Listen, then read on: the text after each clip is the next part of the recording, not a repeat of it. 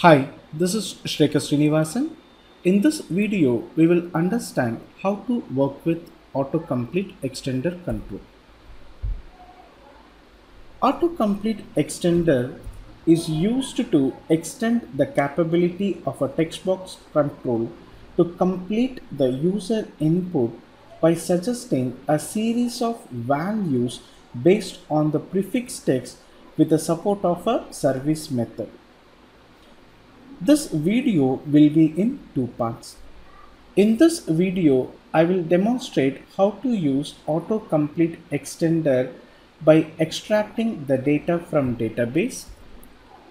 In the second part of this video, I will be explaining how to use autocomplete extender by prefixing an image while displaying the details. But before we start with the demo, let us first understand the properties of autocomplete extender. We have a property called as target control ID. For target control ID, we need to specify the name of the text box control. Service method, the web service method to be called, we have to assign service path. The path of the web service that the extender will pull the word or sentence completion from.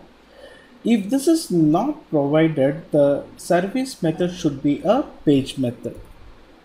Context key, it provides an optional overload of the web method described by the service method or service path. Use context key, it is used to specify whether or not the context key property should be used. Minimum prefix length, it is used to specify the minimum number of characters that must be entered before suggestions from the web service.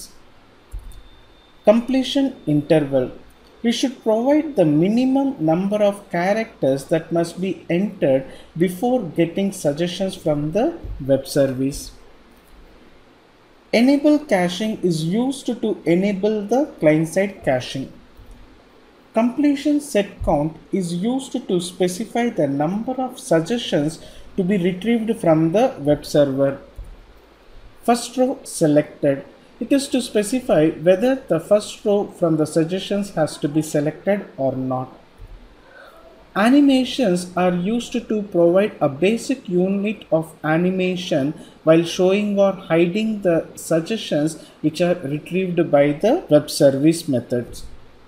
Now let us try to understand how to use autocomplete extender with the support of database. I already opened my Visual Studio.NET with ASP.NET Empty project. Before we get started with it, let us try to understand the database that we will use in our application. The database which we are going to use is Northwind database and the table products. Our requirement is whenever the user types in the product name, the relevant products should be displayed in the suggestion.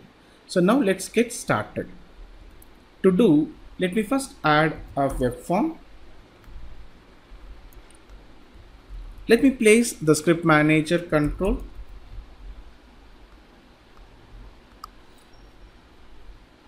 Let me provide a title autocomplete extender demo with database. I type in the product name, a text box where the user can provide the input. Since my requirement is to extend this text box to provide the auto completion, I just extend it, select the extender as autocomplete extender. The autocomplete extender provides the suggestions based on a service method. So let's try to write the code for getting the suggestions for autocomplete extender. Let me just make the room for our coding. In order to write the service definition, the method should be prefixed using web method attribute. And also it should have a support of system.web.script.services.script method attribute. Once we just define this particular attribute, to provide the definition, now let's try to write the service method where the service method should be a public static method which should return a string array. The name of the method I just tried to provide as a convention get completion list which will take two parameters. One is the prefix text that's the text typed by the user at the text box and the number of values to be generated. Let me just try to define the connection string. So user ID equal to SA, password in my system is pwd123 hash. And the database I'm going to use is Northwind and the data source in my system is Shekhar the Guru. Once I define this particular connection string, SQL connection cn equal to new SQL connection of connection string and I would like to get the details based on my prefix text. So I write a SQL statement string dot format select product name from products where product name like whatever might be the text the user is going to type in followed by any characters. So I just try to format it in this way.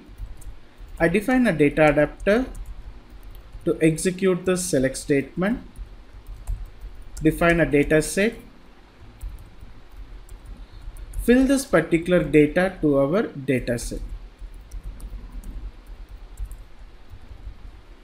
Let's try to write a simple logic to get the number of suggestions.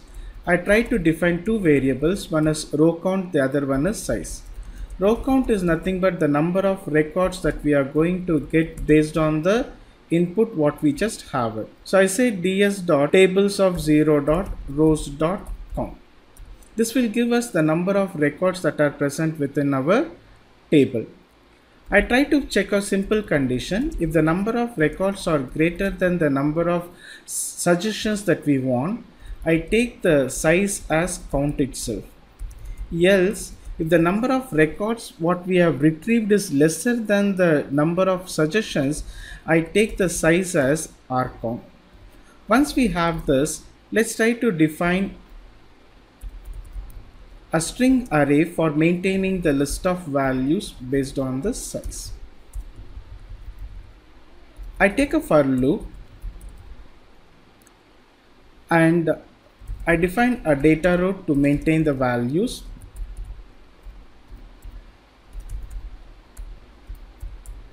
Once we got the row, the product names of i equal to row of product name dot toString.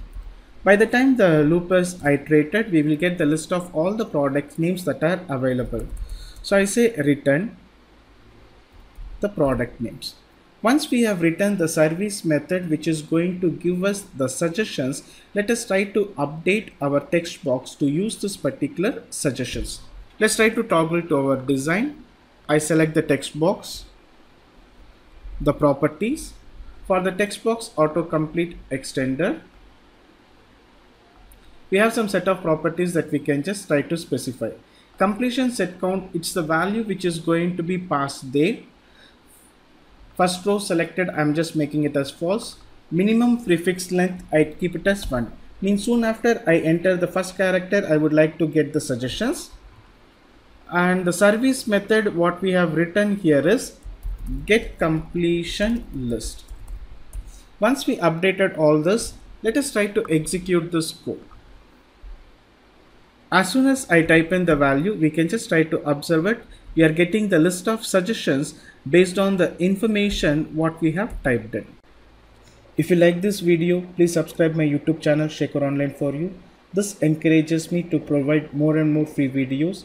For corporate trainings or online trainings, you can reach to my mail ID shekharonline4u at gmail.com or else you can just call back to my mobile number 90109 21619 9951 890-241 or you can follow at my Twitter. Thanks for watching my video.